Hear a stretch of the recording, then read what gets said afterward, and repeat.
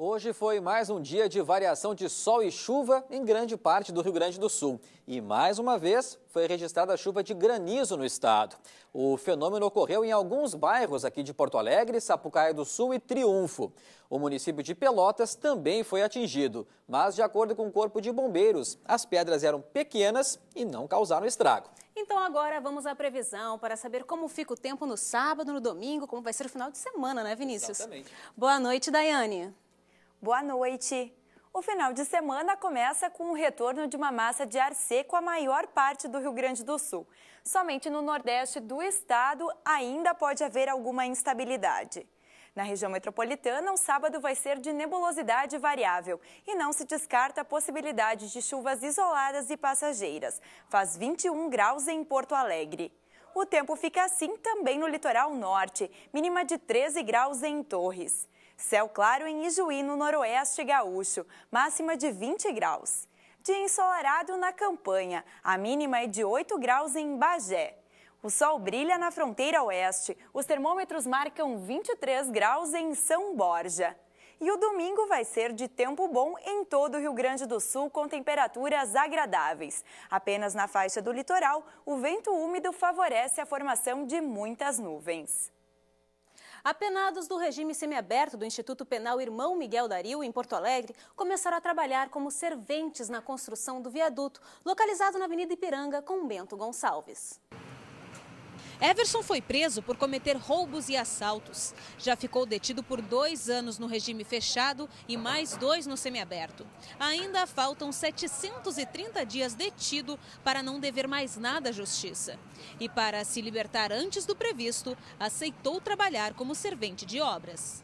Eu tenho que trabalhar, na realidade, porque eu tenho sete filhos e eu tenho que ajudar minha esposa lá na rua.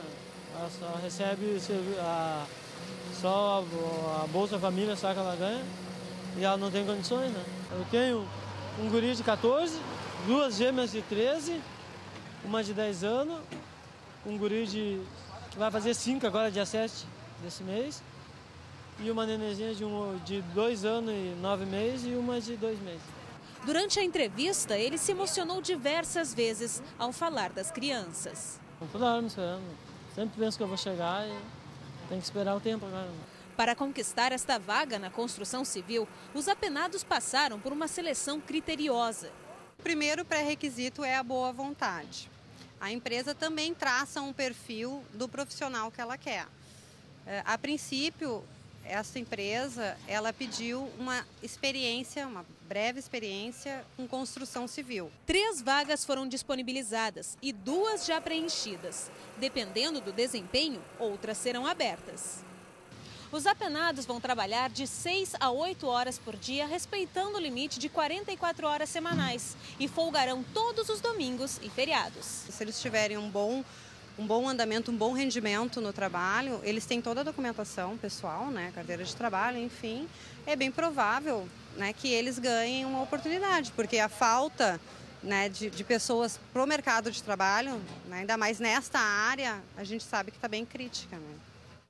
E o Ministério Público do Rio Grande do Sul deflagrou hoje a operação que investiga uma organização não governamental por desvio de recursos públicos destinados à ressocialização de presos. É, Vinícius, e conforme a promotoria criminal, recursos depositados para a Associação Identidade, com sede em Porto Alegre, foram parar na conta de particulares. Segundo o promotor Ricardo Herbert, existe a suspeita de lavagem de dinheiro de políticos e de outras entidades. Cinco integrantes do grupo Mães de Janeiro, ligado à Associação de Familiares das Vítimas e Sobreviventes da Tragédia da Boate Kiss em Santa Maria, realizaram hoje à tarde uma limpeza no local. Foram retirados os cartazes com fotos, vasos com flores e homenagens em frente à boate. Os objetos estavam presos em tapumes que protegiam a fachada do prédio, que está isolado devido às substâncias tóxicas que permanecem dentro da Kiss. O pedido foi feito pela comunidade do bairro, que se sentia incomodada com as manifestações. A Receita Federal libera na próxima terça-feira a consulta ao quinto lote da restituição do Imposto de Renda 2013. Ao todo, quase 1 milhão e 500 mil contribuintes serão beneficiados. Os recursos estarão liberados para saque no dia 15. Para informações, basta acessar a página da Receita na internet, no endereço www.receita.fazenda.gov.br ou ligar para o Receita Fone 146. O Comando Nacional dos Bancários rejeitou a proposta das empresas e decidiu manter a greve da categoria, que já dura 16 dias. A Federação Nacional dos Bancos ofereceu reajuste de 7,1%, mas os trabalhadores reivindicam aumento de 11,9%. Os sindicatos estaduais vão realizar assembleia na segunda-feira para avaliar a situação. Um ato no final da tarde no centro de Porto Alegre lembrou a destruição do Tatu Bola ocorrido há um ano. Ele, que é símbolo da Copa do Mundo de 2014. Um dos principais temas discutidos pelos manifestantes foram as regras de ocupação dos espaços públicos. Há um ano, em um confronto na capital, o símbolo da Copa do Mundo, o tatu bola, foi destruído. Manifestantes do coletivo Defesa Pública da Alegria voltaram hoje ao centro para lembrar o objetivo do grupo. O objetivo dessa manifestação é denunciar a privatização dos espaços públicos em Porto Alegre, como é o caso desse espaço na frente do mercado público, como é o caso que está acontecendo agora com o Cais do Porto e com Araújo Viana, que são espaços tradicionalmente de acesso livre da população e que agora estão sendo apropriados, junto com esse pacote da Copa, por empresas privadas como a Coca-Cola, a Pepsi e algumas outras. Uma vida mais saudável e um meio de transporte alternativo. Com o aumento no número de bicicletas circulando, motoristas e ciclistas agora precisam aprender a compartilhar as ruas. Uma cartilha do Detran auxilia nas orientações tanto para quem dirige quanto para quem pedala. Já são sete anos usando a magrela como meio de transporte para o trabalho. Mas seu Cléo evita transitar nas faixas de veículos. Bom, mais na calçada, né?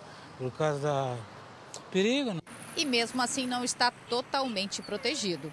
As bicicletas ainda são poucas se comparadas ao número de veículos motorizados rodando. Por isso, preocupa o índice de quase 10% do total de acidentes com mortes no trânsito envolverem ciclistas. O Detran contabilizou 920 acidentes entre 2007 e 2012 no estado. E veículos de maior porte são responsáveis pela segurança dos menores. Eu acho que o motorista, principalmente nós gaúchos aqui, nós temos, quando pegamos um automóvel, nós esquecemos que nós estamos com com uma arma na mão e a gente tem que ter esse cuidado. Então, é uma questão de consciência né? e até mesmo cultural. Eu acho que falta um pouco mais dos motoristas, eu acho, prestar um pouco mais de, de atenção, entendeu? Mas também os ciclistas têm deveres, como sinalizar manobras ou o que faz Werner, esperar a sua vez no trânsito. Tem que respeitar, né? Senão a gente não pode exigir que os outros respeitem. Noções que são apresentadas nesse impresso do Detran, que é distribuído em CFCs para os cursos de formação e reciclagem de condutores, seminários de formação nos municípios e blitzes educativas. O disco vai revelando dois grupos de informação, um para os condutores, outro para quem pedala ele traz duas abordagens. Uma delas referentes, referente à perspectiva do ciclista em relação ao trânsito, todos os cuidados que ele precisa ter ao transitar na via, e ao mesmo tempo ele traz quais são as responsabilidades e os cuidados que o condutor de um veículo tem que ter em relação ao ciclista. Então ele pauta-se para além das questões técnicas em específico, muito mais voltado para a questão dos valores do compartilhamento do espaço público. E o Jornal da TVE termina aqui. Mais informações você acompanha na segunda-feira no TVE Notícias. E no Jornal TVE Primeira Edição e também no TVE Primeira Edição ao meio-dia e 30. Nós voltamos na segunda-feira, às sete e meia da noite. Uma boa noite para você. Boa noite, bom final de semana.